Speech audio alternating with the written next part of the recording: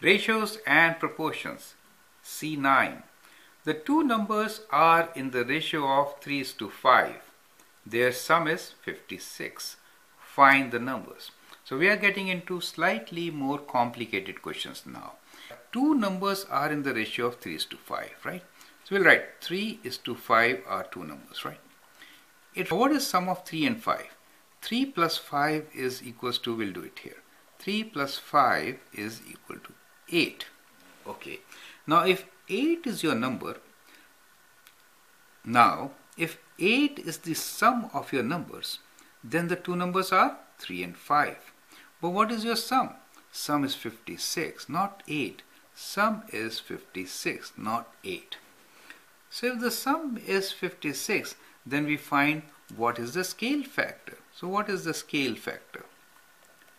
So scale factor is 8 times what is 56. So what you can do is you can do 56 divided by 8 and you know it is 7.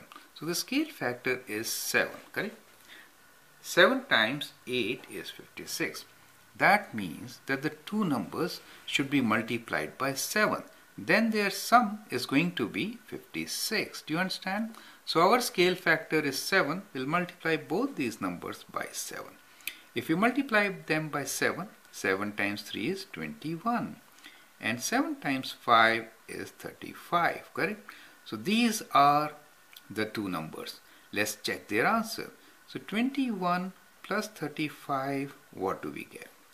We get 6 and 5, 56. So that is correct. Therefore, we can say that our answer is that the numbers are 21 and 35. So this is one way of solving, right? Now let me give you alternate of solving, alternate way of solving.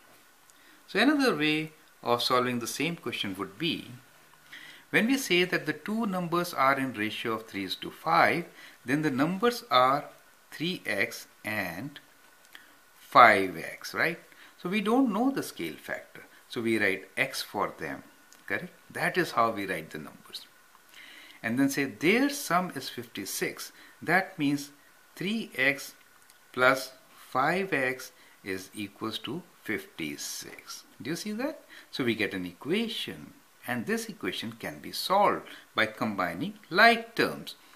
3x plus 5x is 8x so 8x equals to 56 so what is x equals to?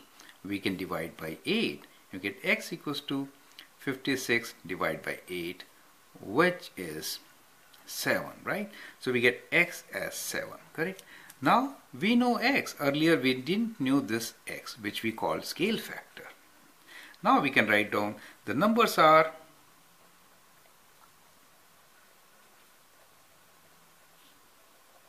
Three times seven and five times seven. Do you see?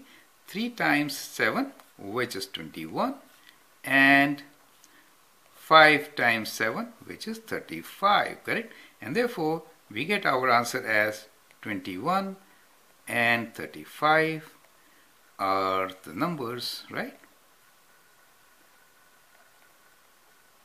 Whose sum is 56 do you see? Do you understand how we did it right? So that is another way of doing the same question. Follow the method which you like most okay? Thank you